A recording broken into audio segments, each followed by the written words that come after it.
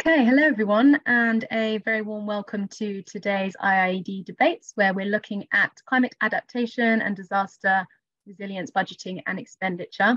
My name is Juliet. I'm the events officer at IIED, and I will be providing some tech support as we go through. That's it from me on housekeeping. Um, so I would now like to introduce our moder moderator for today's event, um, Paul Steele, who is uh, IIED's chief economist. Paul, over to you, please. Thanks, Juliet. And apologies, but for the purpose of this uh, um, webinar, I'm actually invisible because my camera is not working but you can hear my voice. So I am here, I promise you.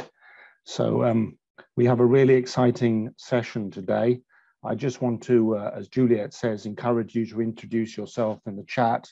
A number of people are doing that. We've got people from Lagos, people from Guatemala already introducing themselves, people from Germany. So just send a message to everyone, or hosts and panelists, and, uh, and then we can see where you are. There will, as Juliet said, be translation into Spanish and English. So please uh, select the translation interpretation button at the bottom if you want the interpretation. And then just to give a bit of context before uh, Mathieu launches in, this is about budgeting. Uh, those of you who work in finance will know that budgets are crucial and uh, because they're the key instrument of government policy. And then we're trying to address, uh, hopefully in the audience of this webinar, three communities who don't often talk to each other. That's uh, obviously the disaster community, uh, the climate community, and the finance community. So the idea of this debate series of IIED is very much to, to, to promote debate. And in this case, it's a very lively debate between those three different communities. But I'll stop there and hand over to Mathieu from UNDRR. Thank you.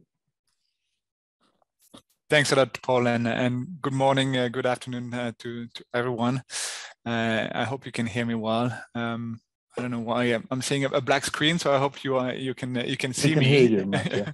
yeah. Can you can you see me? Yes. Okay. Yeah. Yeah. Great. Um, no, uh, and thanks, uh, thanks a lot. Um, I'd like to maybe just start uh, this webinar um, by uh, by acknowledging um, the the work that we have been doing with many organizations who are presented today. Uh, because we it's, it's been a joint effort, um, eh, obviously led by IIED, but together with a lot of uh, UN uh, members uh, uh, from the UN system, uh, governments official, and international organizations. So I just wanted to start by acknowledging um, their contribution to this work that we are we are discussing today.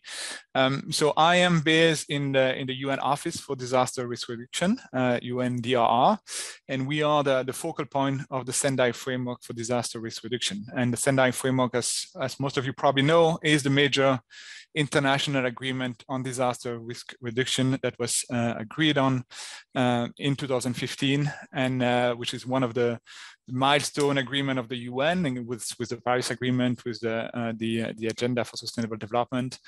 Um, and in this agreement, um, one of the priority that governments have recognized is the importance of investing in disaster risk reduction. And, and they specifically mention uh, their uh, desire to encourage policymakers to, uh, to allocate a budget for disaster risk reduction and to really mainstream disaster risk reduction in, in public policies. And so this is why we, uh, as UNDRR, started engaging on this work, which is about, uh, as Paul was mentioning, about how do you measure, track uh, money flowing into uh, disaster risk reduction. And um, and from from a public point of view, from a government uh, perspective, and and this is this is really key uh, because we are today facing a really a dual reality. And one reality is that uh, the number and the severity and frequency of disasters is increasing uh, very rapidly. Uh, we see that from the example from, from flooding in Pakistan, from earthquake in, in Turkey and Syria, from the wildfires uh, in California and Australia. And, and we at UNDRR uh, are estimating that the number of disasters uh, will increase by 40%, 40, uh, between 2015 and 2030. So we are really seeing an increasing frequency of, of, those disasters with, of course, dramatic uh, consequences on, on human lives um, and but also on, on the economic uh, the economies of, of countries hit by those disasters. So, so there is really a need to, to step up uh, our work in, in, in really trying to prevent this disaster or, um, and prevent hazards to, to transform into disasters. And, and so that's one of the reality we're facing. The second reality we're facing is that the, the investment that are uh, geared towards um, disaster risk reduction is, is largely insufficient. And again, if I want to use one example, uh, if we look at the, uh, the share of official development assistance, uh, ODA, that is allocated to disaster risk reduction, um, it's actually a tiny bit. Only 1% of ODA is allocated to disasters and a, a vast majority of uh, this 1% is for uh, emergency and response, and only uh, a small fraction, 4% of this 1% uh, is for uh, uh, prevention and preparedness. So it gives you a sense of, of how little actually is allocated to this priority. And and there is a question of why this is happening and why we are not seeing higher higher investment in, in, in this in this space. And one of them is because, of course, from a political point of view, uh, uh, sometimes it might be tempting to uh, prioritize investment that are more uh, visible, uh, like new infrastructure or, or that are really urgent needs that you have to face. Uh, while investing in disaster risk reduction is very important, but it's less visible and has positive impact in, in the long run. So does not have uh, immediate visible impact, although very important long-term impact.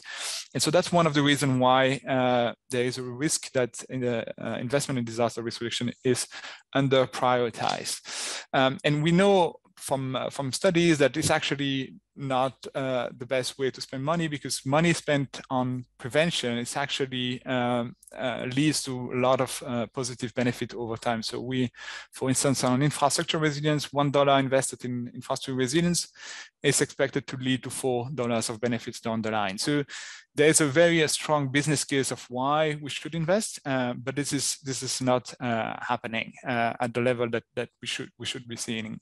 And we think that this uh, tool that uh, and this work that we are doing with with IIED um, can help address part of this issue. Trying to see measuring how much of the budget is allocated to disaster risk reduction has the potential to really make sure that disaster risk reduction are at the, at the core and are, are, well considered when governments are actually preparing their budget, are making uh, budget allocation decisions.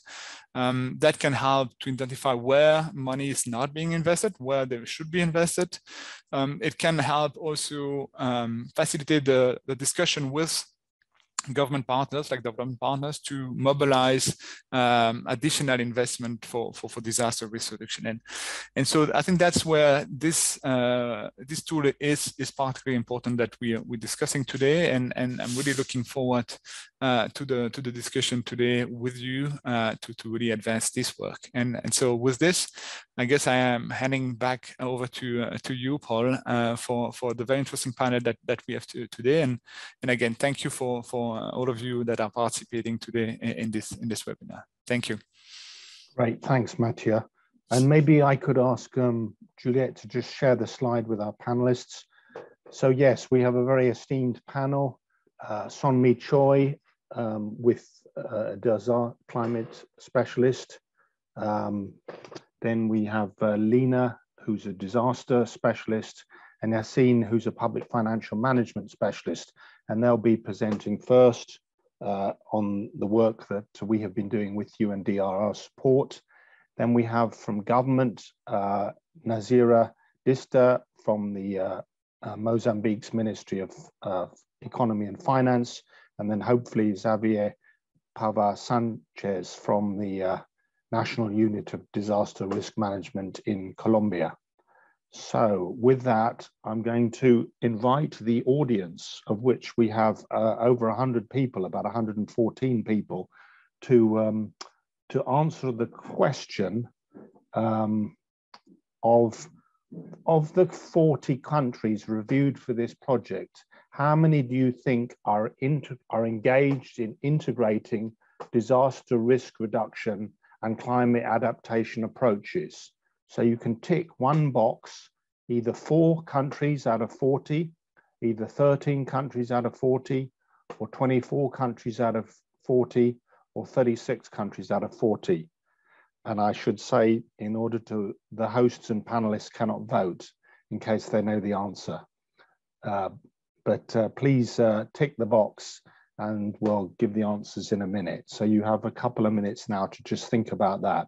To what extent are countries making this integration, which um, Mathieu mentioned, which needs to take place as much as possible to, uh, to have a coherent response to both climate and disasters. Juliet, can you see how many, have we got a quorum of responses? Yeah, we've had about 60% uh, of people have responded and it's slowing down a little bit now. So perhaps I'll end the poll and we can uh, share and discuss those results. Great, please do.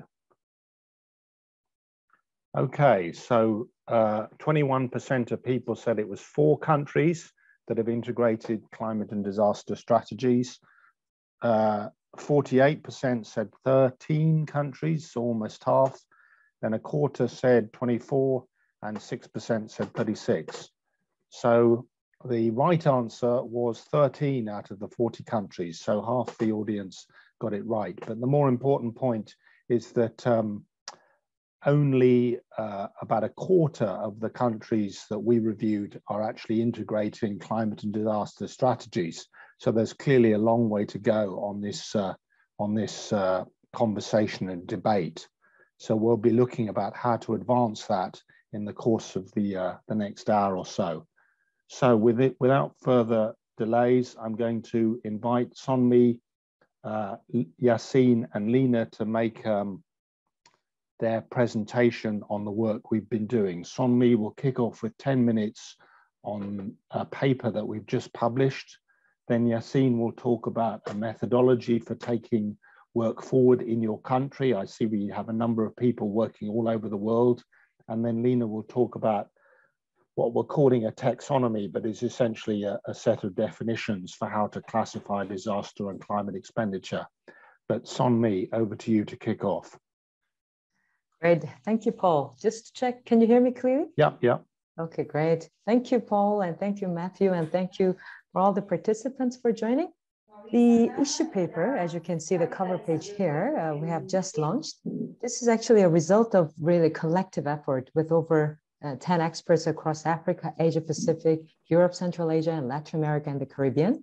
And obviously with huge thanks to valuable input from the country representatives and the technical advisory board members we have consulted for this study. So as you can see, we zoomed in on public finance, climate change adaptation, and disaster risk reduction and we provide an overview of the latest global and country level trends in tagging budgets and tracking public expenditures on climate and disaster resilience. As we have already um, seen, disaster and climate risks are rapidly increasing. We are seeing some impacts now, unprecedented level of impacts and irreversible in many parts of the world. We need to accelerate comprehensive climate and disaster risk management at a greater speed and scale. For this, we urgently need adequate, predictable, and coordinated disaster and climate change adaptation finance.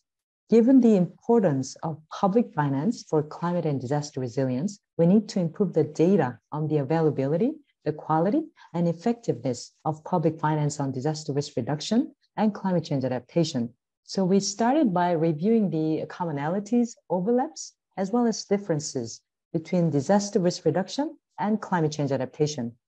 And we have seen that despite many significant commonalities, DRR, disaster risk reduction, and climate change adaptation, CCA communities have developed risk assessment and risk management approaches and financing mechanisms mostly separately from each other.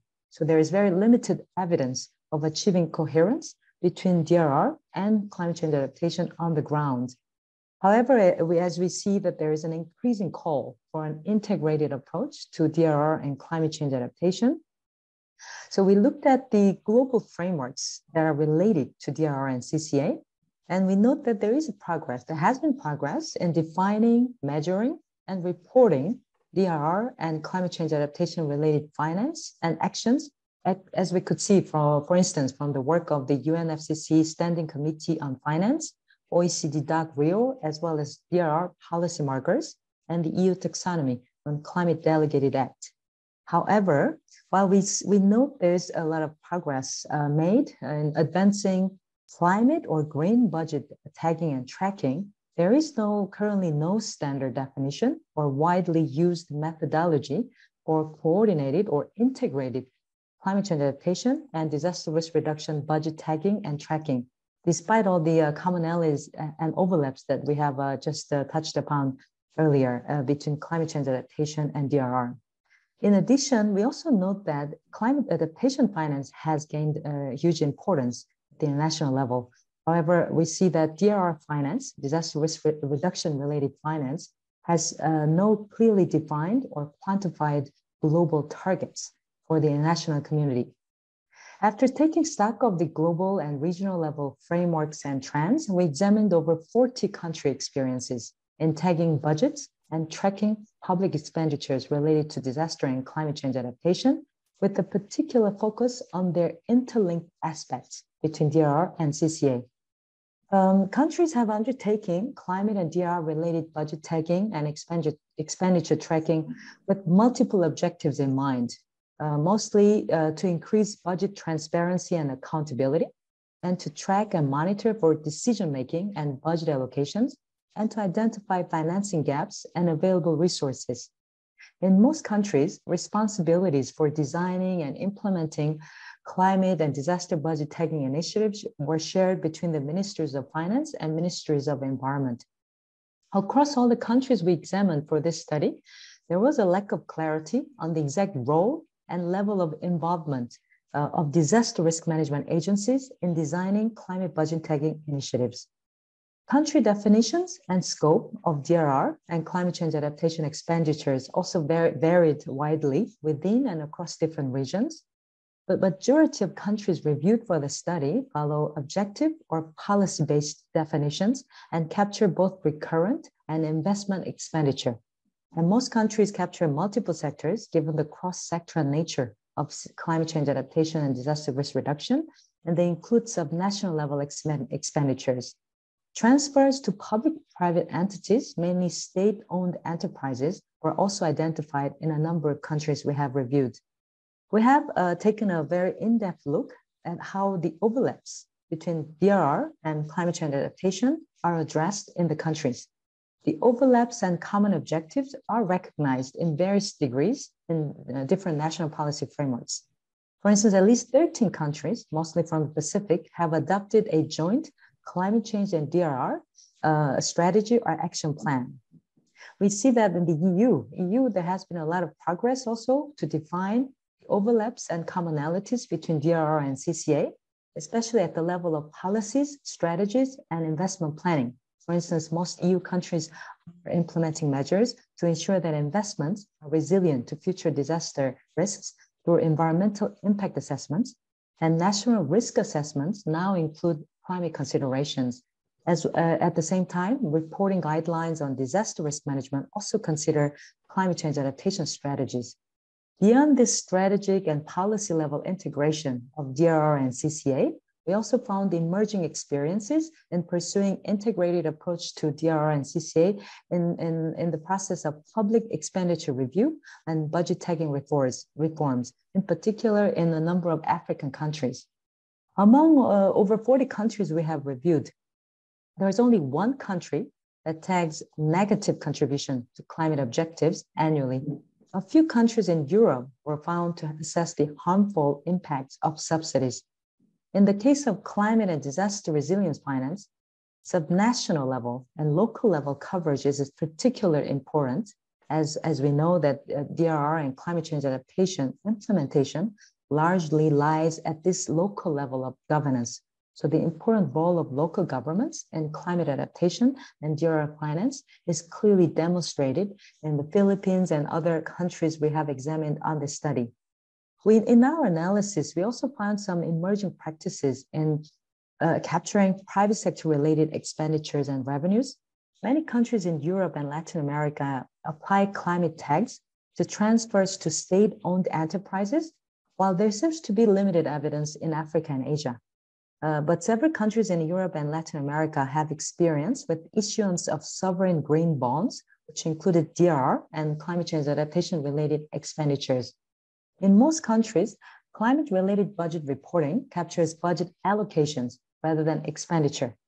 As we know, whether or not uh, this report, uh, budget uh, tracking reports, expenditure reviews, whether they capture only allocation or, uh, or include expenditure can make a huge difference in the accuracy of reporting on how much is actually spent on climate change adaptation and disaster risk reduction.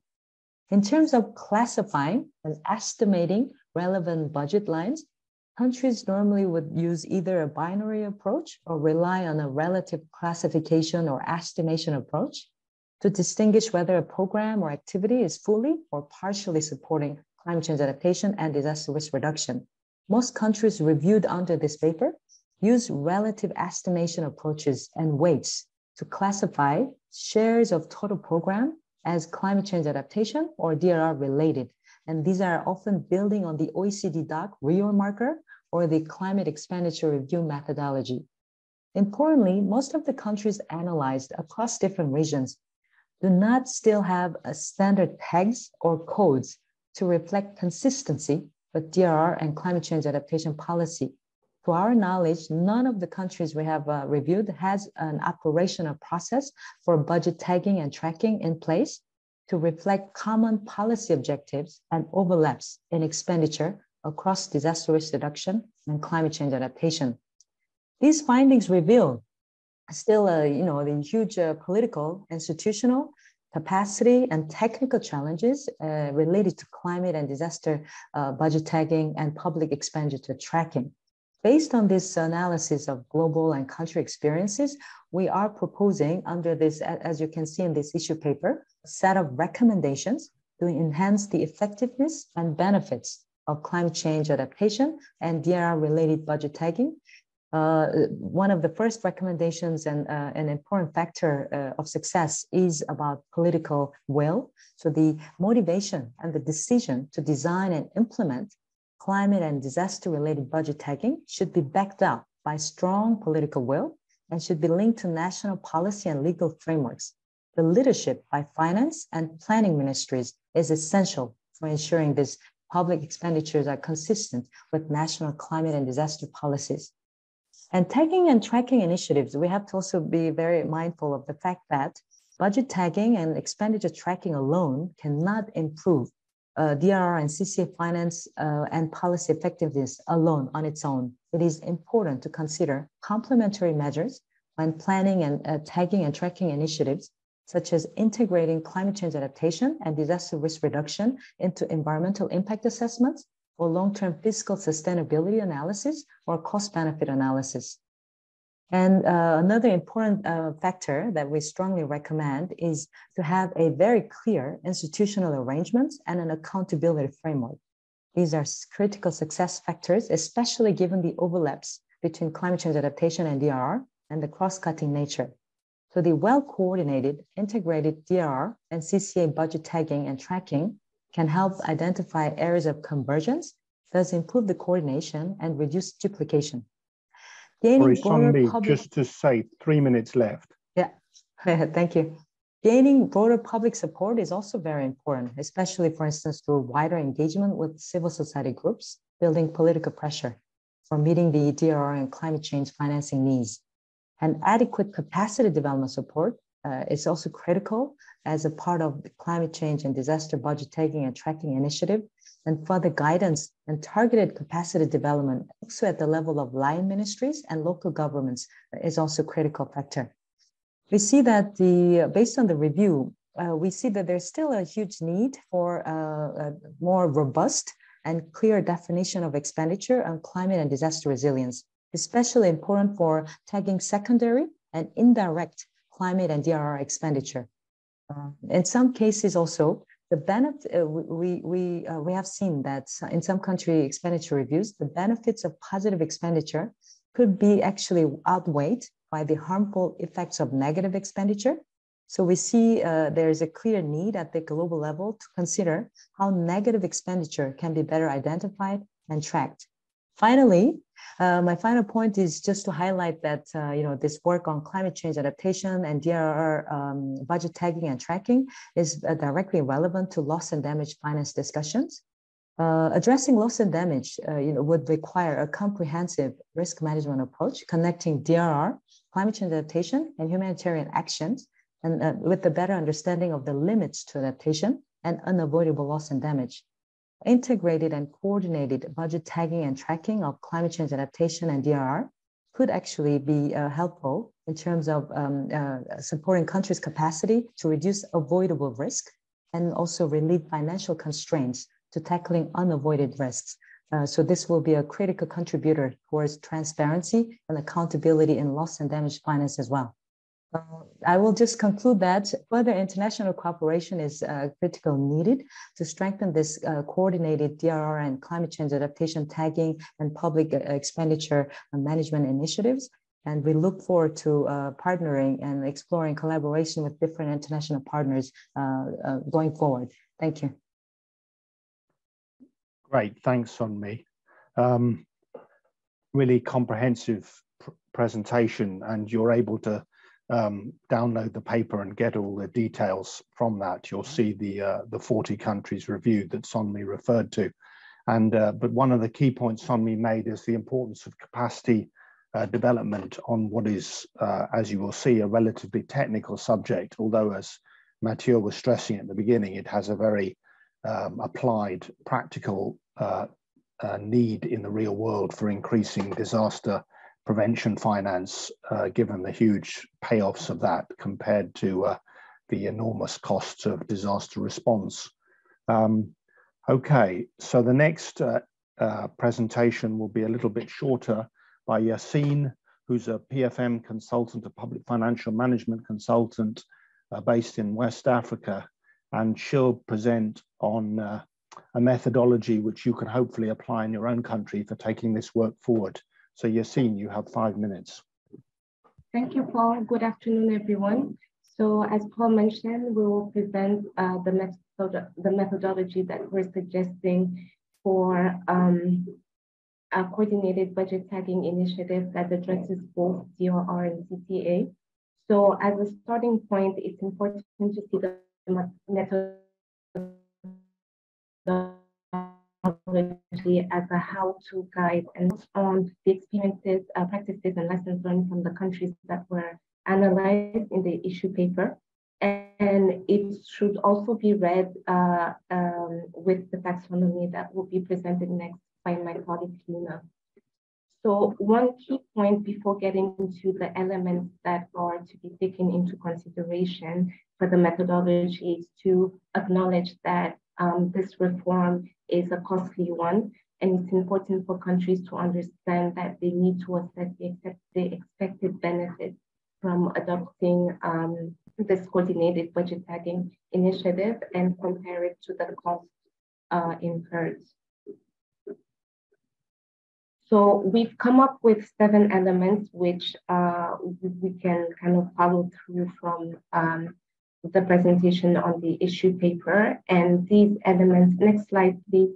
These elements should not be read as a in a chronological order, but rather as um, overlapping uh, overlapping um, elements that uh, are to be undertaken. So the first one is on leadership and coordination, and it entails on knowing what are the institutions that have uh, a CCA mandate, what are the their exact mandates, what are the roles, how do they work together, and more importantly, which is which institution takes the lead in designing and uh, undertaking such an approach. Um, the second element, which I can see is flowing in the Q&R, is on definitions. So what are we counting, as someone asked? What are the, how are the international definitions of DRR and adapted to local context? And what are the areas of, over, of overlap. And when we look at scope, what is the level of tagging that we're looking at um, and how, uh, what type of expenditures are we including? Are they only positive or negative? And how does uh, this joint approach of uh, tagging DRR and CCA, how does it fit in with tagging other prospecting um, in, uh, sectors such as gender or children's rights? The third element is on the objectives. Um, it's important to acknowledge that different stakeholders will have different objectives, and all these objectives need to be taken into account. And also, um, there needs to be a highlight on the value added of a joint approach. And uh, as uh, said, how does um, the DCBT fit in with other international initiatives? Fourth element is on reporting and dissemination. So this is what are we, how, what are we reporting in what format? How does the reporting fit in with the budget cycle? And um, how do we disseminate the results that we have? Um, who do we disseminate? We, do we dis disseminate it to and how often do we do so? Um, other element, fifth element is on capacity assessment. Um, as Paul mentioned, a capacity is a key point of undertaking um, DCBT because um, civil servants or even practitioners are at the forefront of that. So it starts with first assessing what are what are the capacities that are existing, and then putting it in place a capacity building plan. This the implication for this is that depending on the capacity you have, then you will limit or expand the scope of um, the tagging that you want to implement. Sixth element is on content and phasing. So content is most mostly on um, the methodology that is used for the tagging. Uh, there are several methodologies that could be used and we'll go a bit further on that in the taxonomy. And the phasing is on acknowledging that this is a complex reform and it's a, at a crossroads between the budget, PFM, the PFM cycles, environment and climate issues. So what and disasters and disaster as well. So it's important to start um, maybe with a pilot and then uh, add on, build on um, and increase um, uh, on the scope that's being undertaken. And the last point and the last element is on monitoring, monitoring and learning. So there needs to be a clear plan for monitoring, monitoring learning, uh, knowledge management approach uh, with really specific aspects that describe how is this um, how are the results relevant? Are they effective? Are they efficient?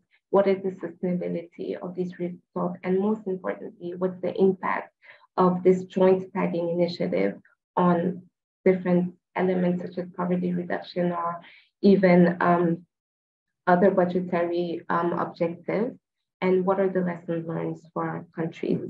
So as I've said in conclusion, these seven elements are key factors to take into account when a country is designing or undertaking a joint tagging on DRR and CCA. Thank you. Great, thanks Yacine. Really clear um, explanation of, um, of the proposed methodology. And I should say that while the, uh, the, the report that Seon-Mi presented at the beginning has now been completed and is available for download, the uh, this methodology is still in draft. So if you feel anything's missing or you think anything's could be improved or you think it's it, it doesn't fit your country context, please tell us in the discussion and, and comment section, which we'll have in a moment, and we can amend the uh, the methodology um, accordingly because we want it to be as practical and useful as countries as, as can be. Now we come on to this issue of taxonomy. How do you define when you're trying to do climate combined climate and disaster budget tagging, or you'll see you'll see in the presentations the CB um, uh, DCBT acronym, uh, or um, how do you define what is a climate expenditure or what is a disaster expenditure? A couple of the questions you'll see in the chat relate to this. Um, have you analyzed in your research whether countries include transboundary cooperation and then second question from Fiona is, were the obvious differences between countries as what they classified as adaptation? So clearly participants on this webinar are interested in this issue, which is at the core of this uh, methodology. So now, um, Lena, you have five minutes to very quickly introduce what is quite a complicated and emerging taxonomy, also still in draft. So we welcome comments. Lena. Thank you, Paul, and thank you, Yacine. Um, so this taxonomy, taxonomy aspect of the project relates most closely to that sixth element that Yacine spoke about, the content part of the methodology. So it's not, it, should be seen as, as an integral part or a supporting element of the methodology uh, as a whole, really. Um, and the taxonomy specifically, um, as such, aims to support comprehensive budget tagging. So um, to it aims to provide some of the clarity, as Paul mentioned, about um, the uh, common objectives and overlaps versus differences in climate change adaptation and disaster risk reduction, um, budget allocations, um, and to support the, the, the, budget tagging and expenditure tracking processes. Um, it's really meant to be a practical tool uh, that supports users, for example, in ministries of finance who aim to do this on an annual basis as part of the budget cycle, or um, uh, external advisors or review processes that aim to assess um, and track uh, ex public expenditure against um, disaster risk reduction and climate change adaptation, which could be done also not as an annual exercise, but as a one-off um, evaluation or review process, for instance. Um, and so it aims to serve those, those different purposes. Um, the content of the taxonomy and how it's defined and developed is really based on a review of existing approaches of um, taxonomies and classifications and methodologies that are already in use um, that focus either on climate change adaptation or mitigation or disaster risk reduction um, uh, expenditure. Um, so, for example, Seon-Mi mentioned the OECD DAC uh, Rio marker and DRR policy marker, the EU taxonomy. And so these are all approaches that already exist that we've reviewed and that we've used to, um, that, that we are now in the process of using to define and flesh out this taxonomy. Um, as Paul said, is quite a, a, technical and a complex exercise and is work in progress. And we're aiming to have a version of this available in May. Um, so if you are specifically interested in the taxonomy aspect, please do get in touch. We'd uh, love to engage and exchange um, as there are other initiatives ongoing trying to do similar things or, or, relating to, to this sort of work. So please do, do reach out if, if this is of interest. Um, I won't go into all of the technical details, but I will briefly present the four cornerstones that we are using to define and shape out the taxonomy. So again, this is based on the issue paper and the broader methodology approach. Um, and the these are the, the, four aspects, the four cornerstones that we, um, based on this review, felt are particularly important to reflect in the taxonomy so that it can be useful and that it can be that practical tool that's helpful to do um, disaster risk reduction and climate change adaptation budget tagging and expenditure tracking in practice. Um, the first cornerstone is that the taxonomy uh, would, uh, together with the methodology as a whole, need to address political demand. So it should in its language and its approach linked to disaster risk reduction and climate change adaptation strategies globally. So we're using the Sendai framework, of course, and the Paris Agreement as, as global reference points, but recognizing um, that there is national and regional um, policy and plans in place that this would potentially need to speak to and be adaptable to as well. Um, it should help uh, strengthen evidence to build confidence against international funds and also, um, if possible, uh, include um, provisions that can help display the negative expenditure or expenditure that does no significant harm um, in a way that's constructive as, um, as Seon-Mi highlighted earlier in her presentation of the issue paper findings.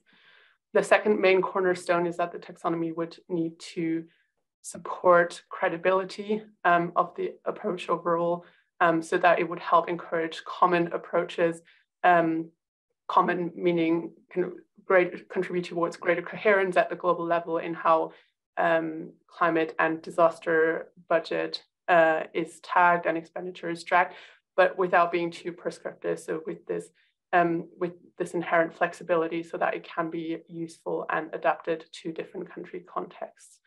Um, it should respond to need for clarity um, and this need for uh, definitions on what is common DRR and climate change adaptation versus what responds to either or the other policy objectives. Um, and it should also, as far as possible, um, include arrangements to avoid greenwashing and overestimation of uh, disaster risk reduction and climate change adaptation expenditure to, to support credibility and accountability. The third major cornerstone is that it should align with available capacity. Um, so uh, again, a major point in the review of global experience as part of the issue paper is that um, between countries, but also within countries, between ministries and between the national and local level, there, there can be quite vast differences in terms of the the, the capa uh, capacity, the resources available to implement these sorts of exercises. So um, a priority in the design of the taxonomy is to keep it simple. Um, we're using this uh, DAC plus uh, term to indicate that we're building on the OECD DAC Rio marker and um, disaster risk reduction policy marker as an approach, but expanding this and providing various options um, to expand it in different directions based on countries' needs and objectives for disaster and climate budget tagging and tracking. Um, a core component of the taxonomy will be a reference table uh, with a lot of practical examples um, that aims to help guide uh, the user in how to classify different types of activities and expenditures um, and to simplify classification essentially. Um, and as much as possible, uh, we're also aiming to build on existing budget reforms. And then lastly, the fourth major cornerstone is that it should um, set a manageable scope. And this is, of course, very closely related to available capacity, but also to the objectives of why a country or uh, uh, another um, entity, another actor might be interested in implementing this sort of um, exercise. And so flexibility really is a key guiding principle in how the taxonomy is um, designed um, to be able to respond to different objectives and um, be applicable at different levels of government as well. Um, so practically how we're doing this or what we're doing in the taxonomy is to have a, a core approach, a core system that's kept relatively simple, but with different um, uh, building blocks or add-ons uh, that provide options so that the user um, can choose from those building blocks uh, specific um, specific elements that uh, they might want to look into more closely with regards to um, where uh, budget allocations go, um, either as part of DCBT, so as annual disaster and climate budget tagging and tracking, or as a, a as a more extended potentially um, budget uh, public expenditure and institutional review that is maybe not done annually, but that could look into some of the um, uh, some of the finance elements in more detail and so could have different requirements and therefore um, we're, we're providing options for how the core approach could be expanded in those directions. Um, so I'll leave it at that. Uh, again, if this is something you're very interested in uh, specifically, please do feel free to reach out. And I'll now pass back to Paul to hear more about country experiences in detail. Thank you. Great, thanks, Lena. And as we, as as you, she said, please uh, reach out to us in the team if you want to engage more. So now we're very pleased to have with us um, two senior colleagues from government who will give their brief perspectives before we open it out to hopefully an interactive audience discussion. And I'm actually going to try and call upon some people in the audience to comment uh, maybe starting with Sheela Patel. So Sheela, if you can be ready with your comments, I'll give you a couple of minutes once we open it out for discussion. Um, so, but before that, we have, we're very pleased to have with us Nazira from the Ministry of Finance in um, Mozambique, based in Maputo. So hopefully uh, you, uh, your internet will be strong enough for us to uh, even see you in Maputo and you can share with us your experience as the disaster management focal point in the Ministry of Finance. Uh, Nazira, you have the floor for seven minutes, please. Uh, good afternoon, everybody. Uh, first of all, uh, I would like to thank uh, thanks the organizer for giving Mozambique the opportunity to participate in this event, and especially to be able to share of the other countries in this field.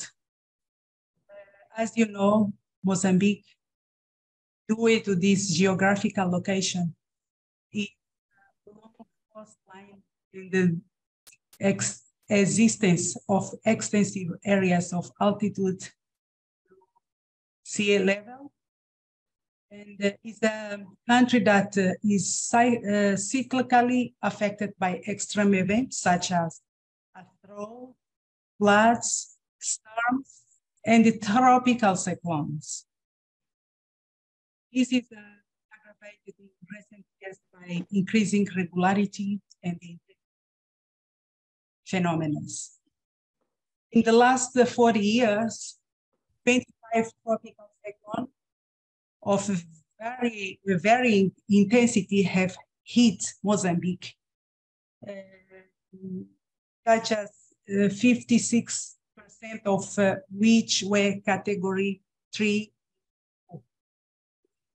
uh, uh, ranking from uh, Uh, to uh, 154 uh, kilometers per hour to 101 kilometers per hour. So in recent decades, the impact of extreme events have been significant with implication for the state budget, social and economy welfare, causing the government's efforts to economic development in the country. The states, uh, due to the challenges in recent years, the government has been carrying out a series of reforms to improve disaster risk management, which is a national priority. In this context, it has adopted disaster risk reduction and prevention policy, uh, such as a national climate change adaptation and mitigation strategy, for 2013 until 2025. And um, other policy I can mention now is the Disaster Management Fund uh, that was approved in 2017, which include among the, amongst revenues uh, the, allocation of uh, at least 0.42% of tax revenue annually in the state budget. So regardless of the planning and the uh, budgeting process, Mozambique, this activity is developed by the National Directorate of Planning and uh, Budgeting, which is by, based in the Ministry of Economy and Finance.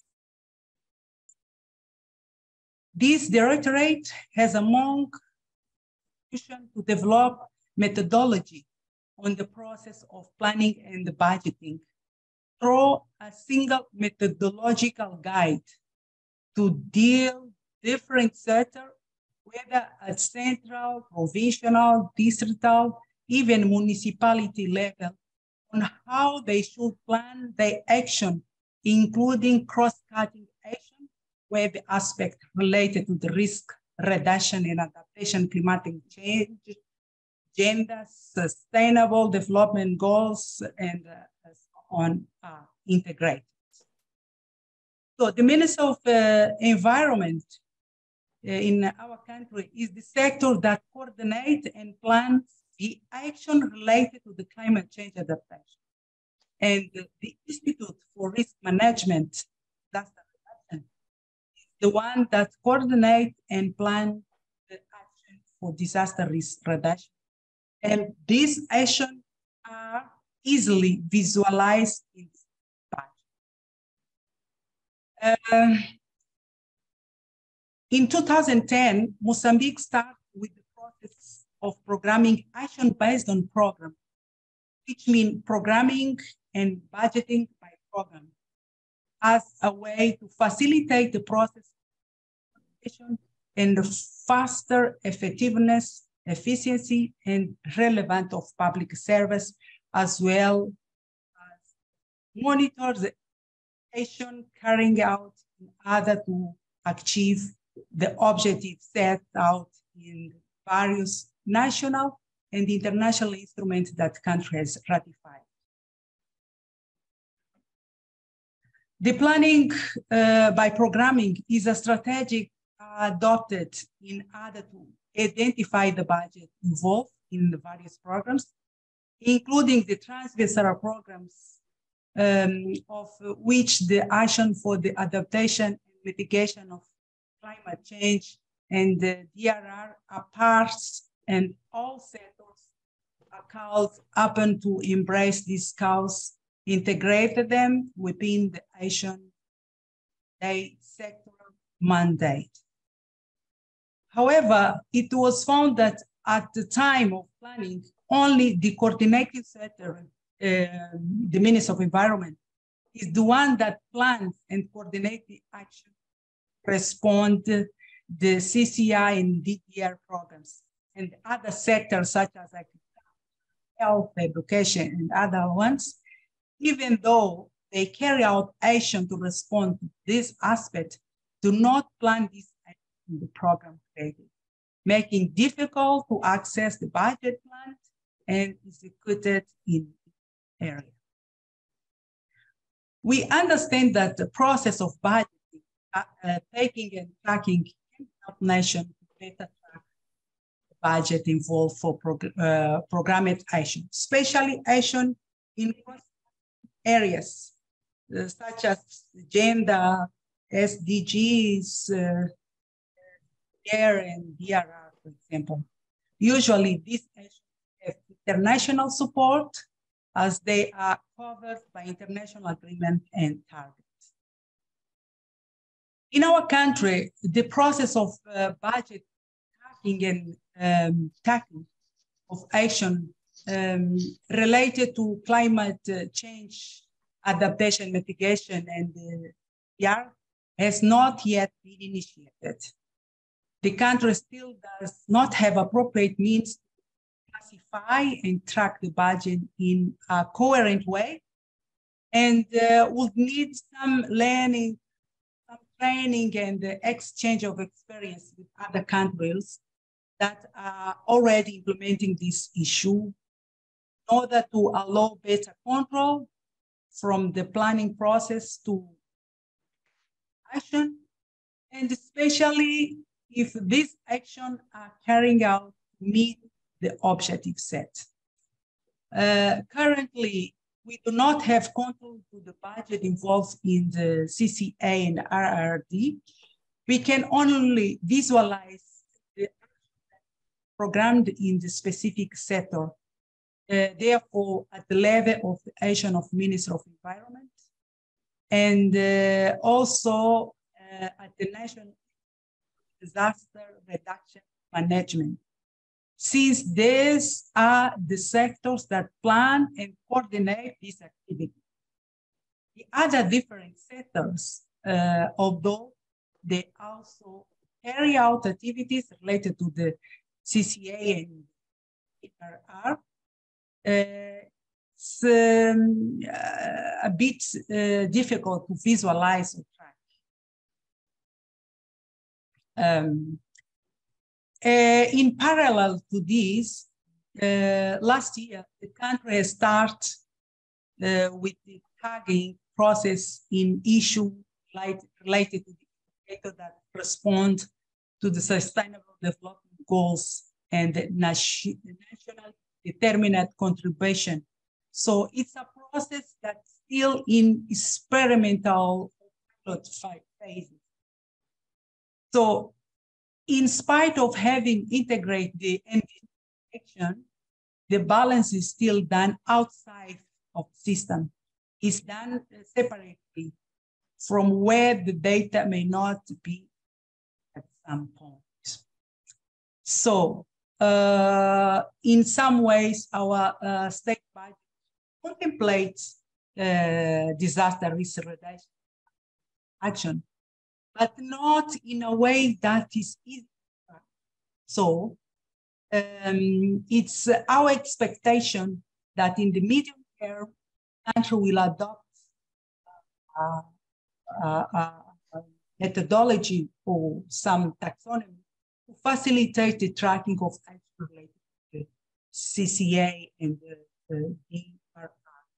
Uh, one, on one hand, to ensure budget coherence and support fiscal transparency, and uh, on the other hand, to help track specify policy. So uh, this is our uh, yes, Mozambique. Thank you. Great. Thank you so much, Nazira, for your um, clear and frank assessment of both the challenges and the way uh, you're hoping to overcome them in Mozambique. So now we're pleased to invite uh, Xavier uh, Pava to join from uh, Colombia to give his experience. Maybe you could turn on your camera if you can, Xavier, and uh, share with us um, your experience. Uh, and I please be uh, as quick as you can, given that we have a limited amount of time and we want to maximize discussion. So Xavier, could you share your experience, please? Bueno, a ver, eh, gracias, muy amable. Thank you very much. Uh, primero, I want to share with you the experience in Colombia. We have been developing for designation of resources for CI there from what has been done in the development of the resources and financing of the reduction of disasters, risks, disaster risks. The way that we materialize the the climate change and the situation and the important financial resources to answer the humanitarian question. Uh, many expenditure that have been demanded in the country to establish a strategy to of financial protection that includes actions such as retention, transference, many of those in terms of what would be credits and insurance. And also, this resources allocation allowed us to see not only we have new resources but they are regulating in this national system system. But we have start to develop a planning of the public financial some uh, this is a very important thing incorporates the question of uh, risks and the strategic planning. These are projects that has to do with the subject of uh, planning, the of development, of investment, and of organization. This strategic planification is um, long-term in the country that allows um, projects about the climate change. And the other thing has got to do with the planning operative. Es algo que the process of formulation and execution in relation to the projects, it's included the variable of risks that we guarantee that the investments that are done and in specific projects have the risk vari variety. these are the things that are developing in our country. Today, we do a balance according to the markers and indicators to invest a national or international. Uh, the most part of it is done directly to projects of managing risks and disasters and specifically uh, re uh, recovering to invest in the recovery of the risks. We manage in an important way the national union that I represent, and in the last years, managed to get an important value and resources for the managing of risks not only to solve problems, structural problems, but also the prospective risks. Mm. What we are wanting today is to reduce the risk. The CAA is what guarantees that these investments or the expenditure be effective, sustainable. Nowadays, more than ever, we have it clear that we need this, and we're having this government of the President Gustavo Petro in Colombia, uh, more than we should, with are articulated with the climate change and all the actions of risk reduction and the recovery is, eh, are focused on the adaptation. Not only we search, we want to solve the, the problems there, but also the structural problems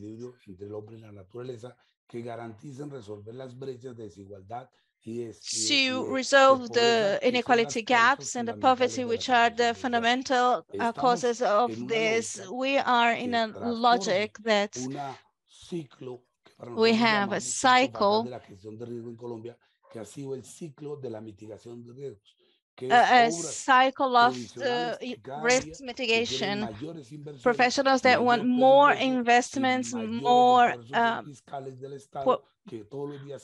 more fiscalization, and we have been having a complete situation. Many times they talk about the scenes, about many resources and the risk system corruption. That's why one of the strategies today about the public investments got to do with this aspect that includes on correct planning and, and the social participation. It, eh, and something to look after the invest, investments. The assignment of resources in an organized and planned way is effective, not only in terms of costs and benefits, but cost efficiency so that these measures resolve in a effective way what we call today corrective or reactive investments that are to solve the problem. Que vamos a aumentar, uh, we're going to this is an important part uh, of what we've been doing. We think that this experience is really can be done with the participation of other countries. And with the subject, we can't see the investment on managing of risks and the actions of the eh, climate change is something that we see. It's very complex, very elaborate. Uh, many times leave us with no action. Los investments that need to be done in a planned way, and you have to find a middle point in what we're doing. And o aquellas que se aplazan y que nunca se hacen porque están tan pensadas en términos de atención. Hay que buscar ese punto. Tiene que buscar este punto. Uh, you have to search for this middle point, search for investments that can solve the problems and that once you see the problem, but also to be aimed at solve the problem, the, po the population that need. Generally, the balance that we've been done in Colombia, many times great inversions, investments is introduced in services and benefits that are very reduced a los contratistas o a los grandes proveedores. Entonces, esta es una discusión. As this is something that seems to be very good about this theme, not only about the assignation of the financial and how this public expenditure is converted in an effective way to sort out the structural problems that today more than ever establish that needs to develop and, and if you need me, I'm here. If you need, if you have any question. Thank you very much, Xavier Pava. Really interesting to hear how in a complicated political setup, this approach provides some sort of rational uh, allocation of resources. So now, thank you for listening. I know we've, we've given you a lot of material, but now this is your chance to contribute to the discussion. So please ask your questions. You can also raise your hand in the, uh, in the, in the uh, if you want to speak. Paul, I see two hands up. I don't know if you, you're seeing them. Okay, let me see. Uh, well, Xavier is one, so we've heard from him already. Who was the second one? So there are two people in the on the attendees. Uh, David Benjamin is one, and then the second name uh, struggling uh, to pronounce it correctly, but Jagannatha, I believe so. so. Okay, well, David Benjamin, would you like to go first, please, and introduce yourself? Yes, hi. Um, I am a um, entrepreneur in Norway, and uh, we build um, systems um, that uh, help with disaster risk reduction by using nature-based solutions. So my question is directed to the IIED, especially. Um, I'm wondering how they um, uh, put into the criteria for uh, their taxonomy um, the efficacy of the actual measures that they that are uh, evaluated. What, how is efficacy measured? Because that's quite complex. Good question, David. Thank you. We won't answer that straight away. We'll just see if there are any other uh, questions from the audience. So, um, Shivaranjani, I don't know whether you're still on the line from uh, from the OPM team based in India. Are you on the line, Shivaranjani? Would you like to ask your question? Uh, thanks um, for waiting. Um, I had placed my uh, question on the Q&A box, but thanks for the opportunity. Um, this has been a very interesting um, sharing of uh, some preliminary findings of a global review. So thanks for taking the effort uh, today. Uh, my question is around whether the study team had an opportunity to observe um, while they focused on uh, reviewing countries on DBT, that is uh, disaster related uh, budget tagging, or policies that integrate DRR into planning and budgeting, whether the team actually observed any significant difference as to inclusion of you know pre versus post disaster related expenditures or even planned allocations. Um, so along the DRM cycle, um, uh, so there is a pre-disaster preparedness or uh, risk reduction initiatives or mitigation initiatives and post-disaster response, rehabilitation, recovery-oriented uh, initiatives.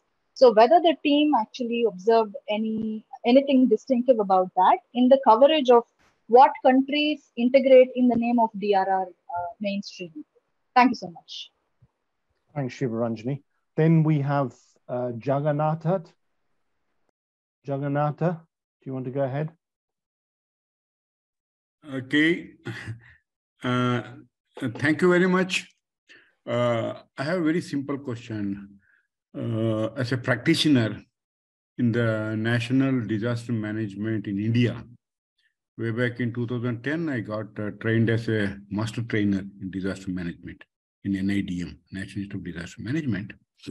And I've been following COP 2627 as a virtual invitee by UNDP. My question is very simple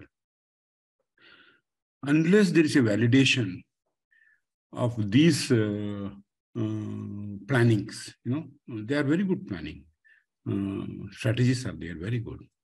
But I want to say that 1991 was a watershed in uh, community enabling. That is IUCN, UNEP and uh, WWF came up with a document called uh, Caring for Earth, a strategy for sustainable living. And I'm a student of uh, uh, UNDRR for a long time with best practices documented so well. So my question is very simple. Shouldn't we think of taking these uh, theoretical, very nice, you know, knowledgeable and practical uh, plannings for a validation, wherein we look at the civic societies and also the endangered population. See, I can close by saying that uh, Swedish International Water Institute 2021, when we had a WMO, I was invited for some reviews of the nature and community-based uh, initiatives. We come very clearly, uh, there is a certain rhythm of uh, the local uh, stakeholders, especially the academics, uh, the local bodies, and voluntary groups. Lot and lot, a lot of convergence is taking place. I think we need to look Thanks, at. Jagannath. Sorry, in the interest of time, I'm going to have to stop you there. So we get. Thank you very much. I think I have conveyed my point. Very simply, we should validate it. Thank you.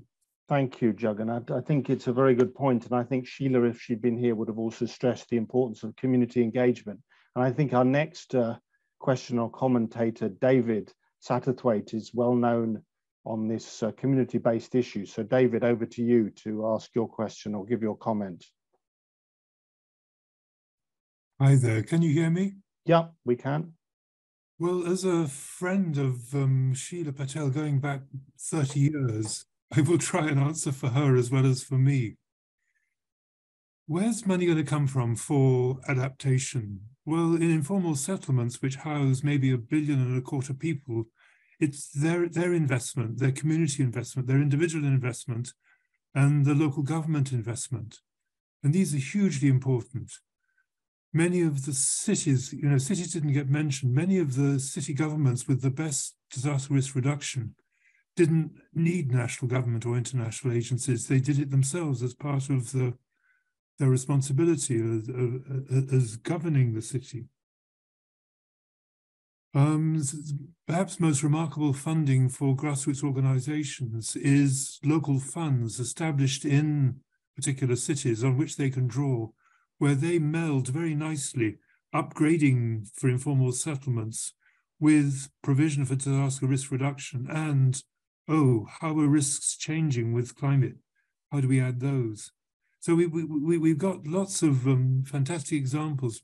I'm not sure we learn from them.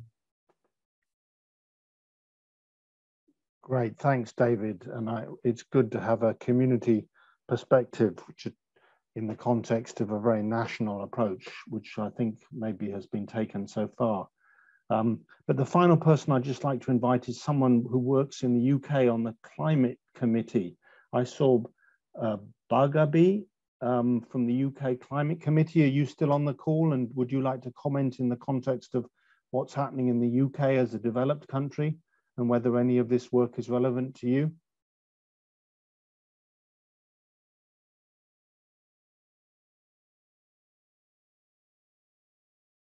Paul, I can't see their name in the participants okay. list, unfortunately. Okay.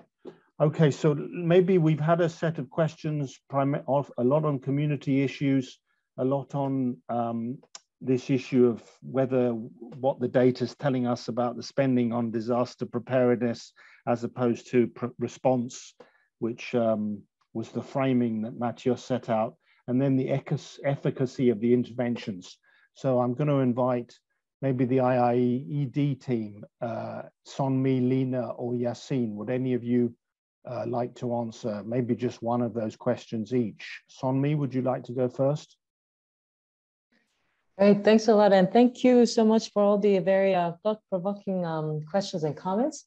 Um, given the scope of this study, we could not really get into the detailed analysis of uh, each uh, country's adaptation and DRR related budget uh, budget tags and codes in, in terms of the content. But in term, uh, as a response to the question from our colleague, I think it was OPM India, into uh, the, how the disaster uh, risk and disaster risk management related expenditures were captured. So from our country reviews, the at the current level is basically the climate change adaptation related budget tagging uh, in most country cases do include disaster uh, risk reduction related actions. For instance, an example would be um, disaster risk management is identified and uh, suggested as a category of climate change adaptation expenditure uh, which would include early warning and emergency response systems. And these are included as part of the climate change adaptation budget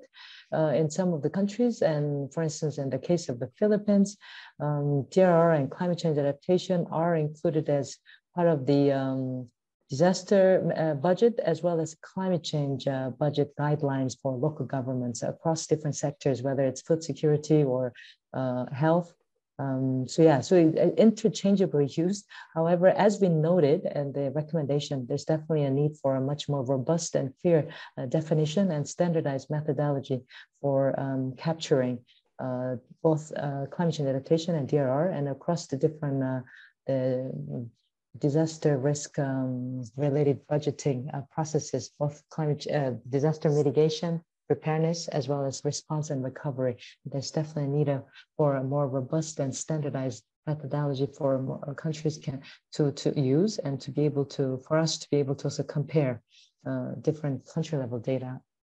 That's maybe some of the um, responses we can give. Yeah, thanks. Thanks.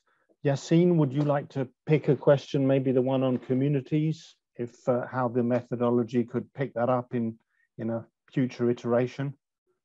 Or whether it's beyond the um, scope?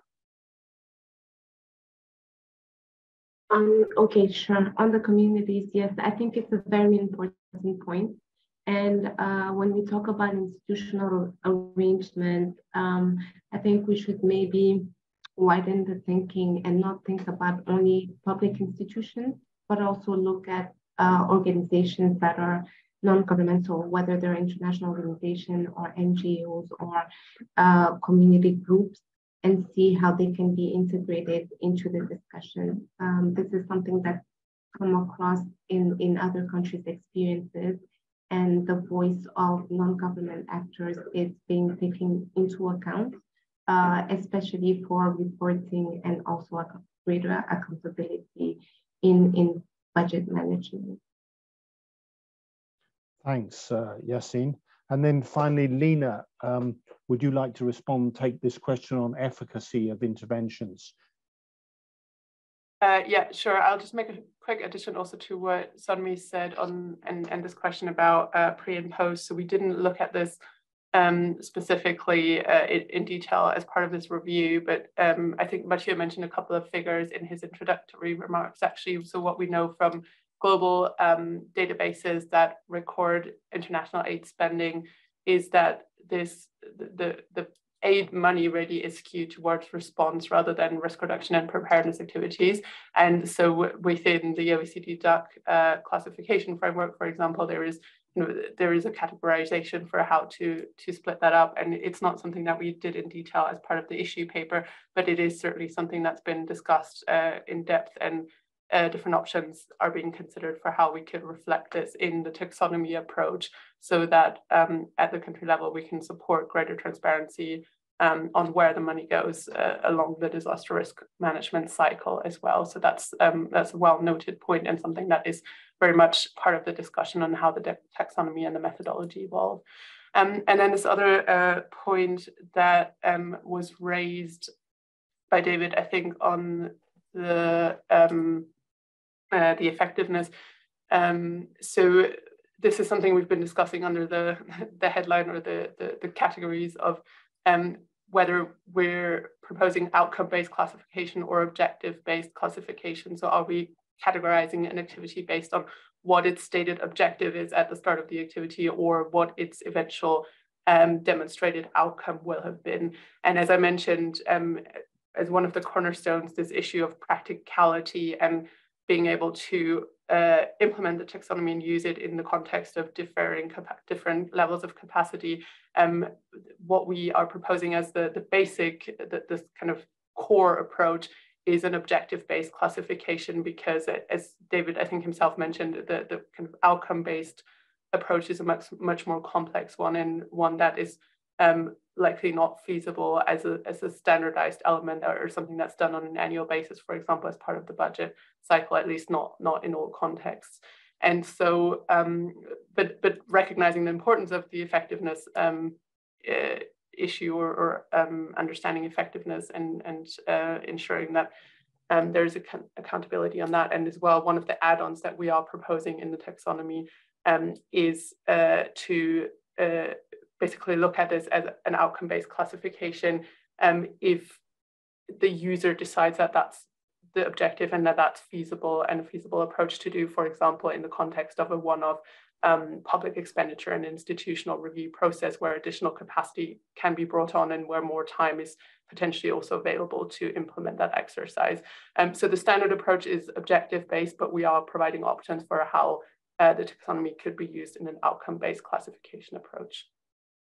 Great, thanks, Lena. And I noticed there are a, a bunch of questions in the Q&A, which um, many of which have been covered in the discussion. But if if the response, if the panelists, Lena, particularly Lena, Yacine, and Seon-Mi, want to type in answers in the in the closing few minutes to uh, to the questions, that would be good in the chat box or in the Q&A box rather.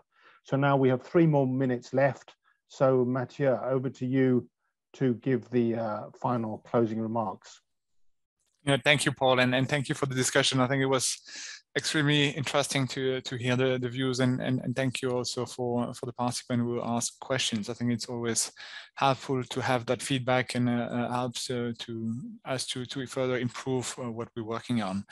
Um, I mean, in the closing, uh, I think what we what we are envisioning from now is, of course, trying to see um, work on, on the two uh, uh, uh, future elements of, of, of the work uh, that is related to, to budget tagging and tracking, which is, as, as you mentioned during this call, the methodology and the taxonomy, which is really about how to uh, bring this uh, to country implementation. And I think that's what we are planning to do at UNDRR is to work with a selected number of countries once the methodology is developed, once we have the taxonomy in place to really try to pilot or work with, with countries who are interested in this topic uh, to, to apply this methodology and, and benefit from it. So we, of course, have uh, regional offices uh, in different regions, in, in Africa, in Asia, and, and others, who are planning uh, to carry on this work. So it's very important that we get this methodology and taxonomy right, so it can really maximize the benefit for, for countries using it. So, so we'll,